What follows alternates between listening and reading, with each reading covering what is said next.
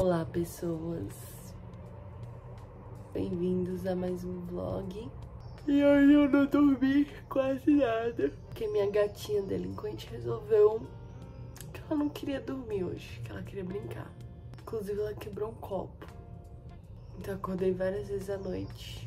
Mas temos aula, então vamos nos arrumar para mais um dia.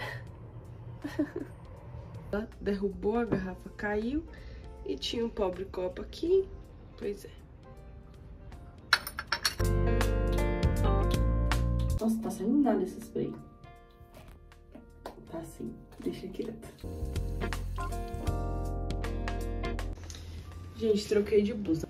Mas esse é o looks. Já são quase 7 horas. Então eu vou arrumar a cama bem rápido. Geralmente eu arrumo só se eu tenho tempo. Mas hoje eu tenho tempo. 20 minutos ainda. Eu tenho que sair daqui 7h20 no máximo, que são 10 minutos até a faculdade.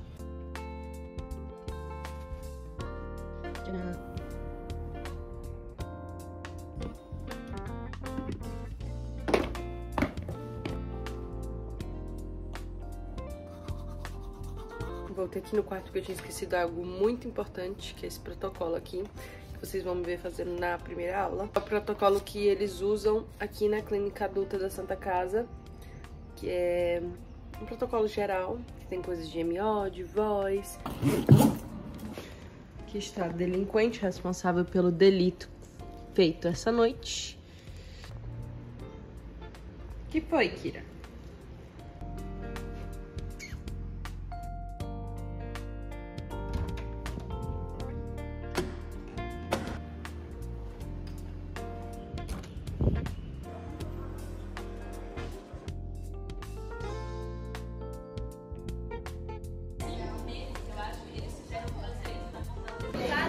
Vitória mostrando os brindes do Lara. Oi, Miss Amores, uma Stanley, vamos sortear hoje.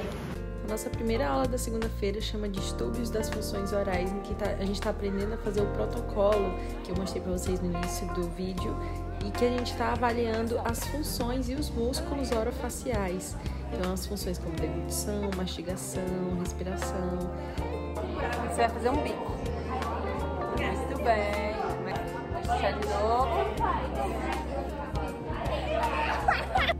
A professora vai passando essas provinhas que vocês estão vendo aí a gente fazer uma na outra e a gente no final do semestre vai ter que entregar um relatório fazendo em uma pessoa da nossa família, por exemplo, para a gente praticar fazer esse, esses relatórios que a gente vai ter que fazer nos nossos pacientes.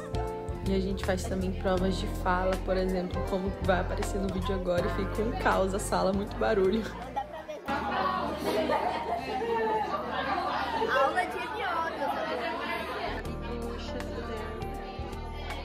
Esse é o paquímetro, um dos instrumentos que a gente utiliza para tirar as medidas da face, ver se está tudo certinho.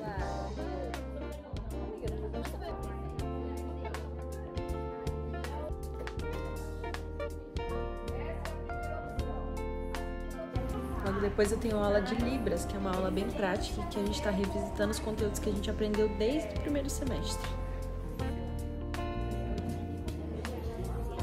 E esse vídeo é um exemplo de outro dia que a gente teve prova de Libras. A gente teve que criar uma conversa e fazer uma conversa com base nos conteúdos que a gente já tinha aprendido para a professora avaliar se a gente conseguia ter uma conversa fluida com outra pessoa. Foi muito legal.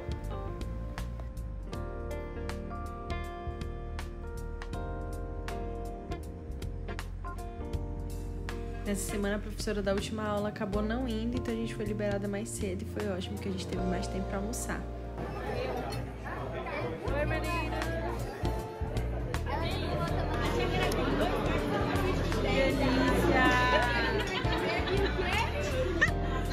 Logo depois do almoço nós fomos pro Lara, que é a Liga de Audição e Reabilitação Auditiva, que é a liga em que as minhas amigas fazem parte da gestão. E é uma liga super divertida, eu adoro. As aulas são super dinâmicas e eles trazem conteúdos super legais. Olha o tamanho desses aparelhos auditivos. Bom dia, vlog.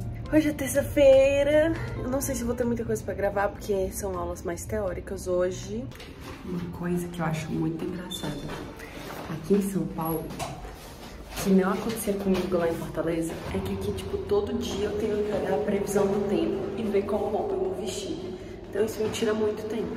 Porque lá em Fortaleza, eu só vestia a mesma roupa todo dia, porque era o mesmo tempo. Aqui não. E tipo, por exemplo, hoje tá fazendo frio agora de manhã. Tipo, tá um ventinho. Tô indo de casaco, mais uma blusa por baixo, porque vai ficar quente.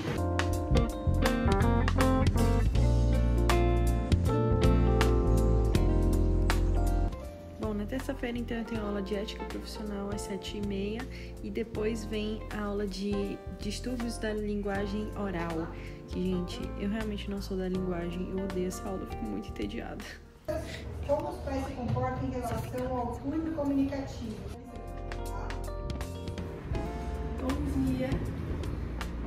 Na quarta-feira começamos um dia com a aula de fonoaudiologia no sistema de saúde, que é uma aula bem tranquila, e depois a avaliação audiológica, que tem a primeira parte teórica, e a segunda parte a gente vai para a clínica e aprende um pouco mais na prática. Gente, é muito legal mexer no audiômetro e fazer a intensimetria. Isso ajuda muito a gente entender o que a gente está aprendendo na teoria e botar em prática mesmo, aprender a mexer nesses aparelhos.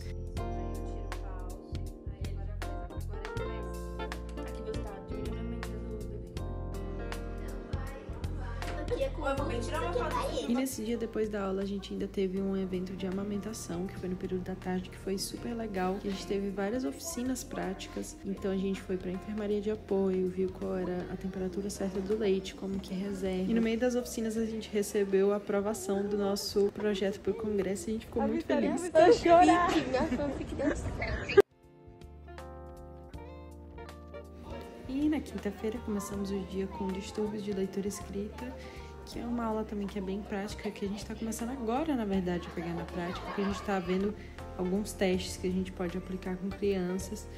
E, gente, não é muito minha praia, mas é divertidinho. Dalé, Dalé não existe. Quem falou? Então, conheço o Dalé. Aqui, você vai ter que ler, aqui corresponder com a imagem.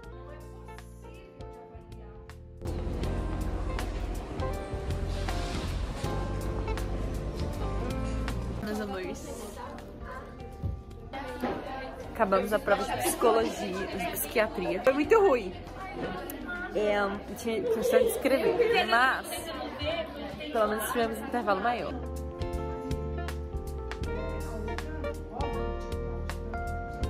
Olá! Nossas aulas hoje acabaram mais cedo, graças a Deus. Terminou, agora são as 11h30 e hoje eu vou acompanhar um ambulatório de artes vocais. Eu estou bem empolgada, então já estou em casa. Daqui a pouco eu vou almoçar e vou lá para o ambulatório. Saindo de casa agora, levando meu jalequinho, uma máscara caso precise. E vamos acompanhar hoje.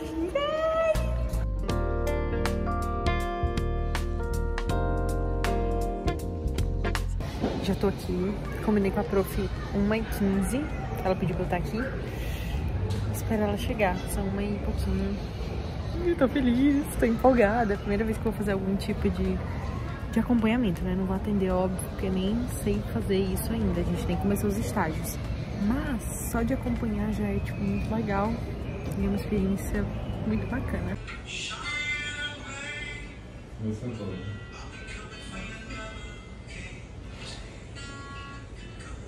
commercial.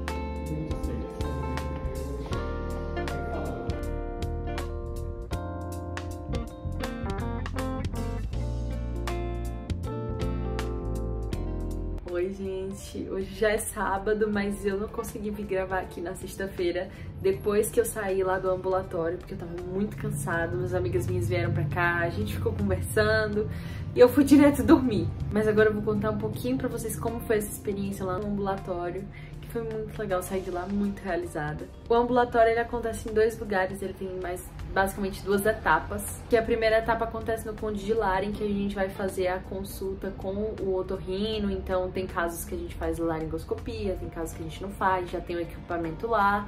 Os residentes de medicina já fizeram a anamnese, aí apresentam o caso, a gente fala com o paciente. Eu não, né? Eu fiquei só observando. mais a fono, os estagiários do quarto ano falam e avaliam todo o caso e a gente viu ontem no total oito laringoscopias, entre elas tinha uma hemorragia de prega vocal, tinha uma prega vocal que é a menor prega vocal que eu já vi na vida, tinha cantores, operadores de telemarketing, estudantes de teatro musical. Inclusive, uma coisa muito engraçada que aconteceu lá foi que os residentes de medicina não, não conhecem muito, a maioria, né? Não conhecem muito esse mundo de canto e de teatro musical, então tinha alguns termos que a residente utilizou para fazer a anamnese, que o otorrino foi corrigindo, tipo, ela não sabia o que era belt, e é totalmente normal. Perguntou pra cantora lírica se ela usava retorno, tipo... São umas coisas assim que só quem tá inserido no meio artístico e com essa coisa do canto vai saber, então foi muito engraçado. O otorrino corrigindo ela, pra falar direitinho os termos quando for fazer a anamnese do paciente. E aí depois que passou toda essa parte das laringoscopias, a gente foi pra clínica, porque aí acontecer os atendimentos, então foram dois atendimentos. E aí a gente fica escutando naquela salinha e aquele vidro, você, quem tá dentro da sala não consegue ver quem tá na outra salinha escondida e foi muito legal acompanhar os atendimentos. E a partir de, dessa semana, todas as semanas, eu vou pro ambulatório porque foi uma experiência muito legal e é muito rico a gente ver essa vivência de paciente que até agora eu não tinha tido, mas por opção minha mesmo, sabe? De não ter ido atrás dos ambulatórios, das coisas. E você aí tá numa faculdade que tem essa disponibilidade de você ir em ambulatório, de você ir ver consulta, vá, porque isso enriquece muito o aprendizado. E é assim que eu termino o vlog, muito feliz e satisfeita. Eu espero muito que vocês tenham gostado de coração. Deixem aqui suas dúvidas, perguntas, angústias, questionamentos nos comentários. Eu amo receber comentários de vocês. Digam o que, que vocês querem ver aqui pelo canal, quais são os próximos temas de vídeos que vocês querem ver, se vocês gostam desse formato de vídeo. Se quiserem me acompanhar mais de perto, sigam também minhas redes sociais. E eu vou ficando por aqui. Até uma próxima. Um beijo, tchau!